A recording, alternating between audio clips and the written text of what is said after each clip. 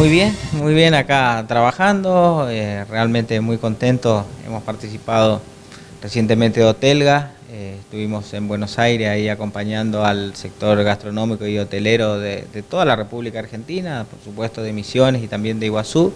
Creemos que ese trabajo que venimos llevando a cabo entre el sector público y el sector privado es, algo fundamental que hace que el destino esté siempre fortalecido, que esté siempre presente, siempre vigente, muy bien posicionado y gracias a eso tenemos éxitos con gran visitas de turistas y, récord eh, mes a mes y año a año.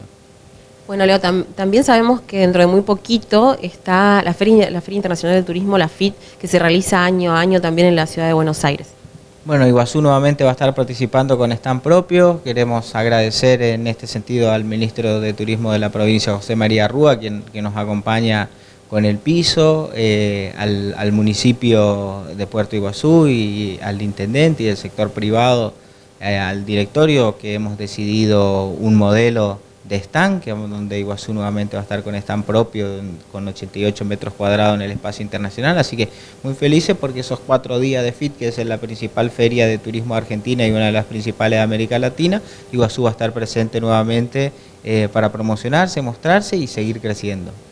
Sabemos, bueno, y hemos sido testigos que siempre Iguazú, en, ferias de turismo que se presente, siempre es uno de los stands más visitados.